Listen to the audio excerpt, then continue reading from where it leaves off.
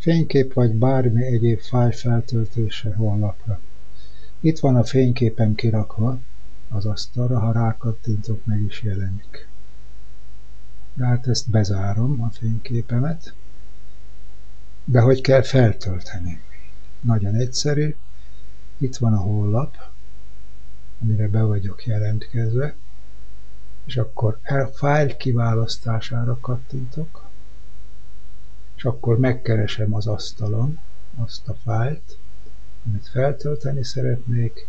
Itt van a fényképen nevezetű, erre rákattintok, és a feltöltöm gombra kattintva elindul a feltöltés, ki van írva, a feltöltés sikeres, stb. Ezzel kész. Vége.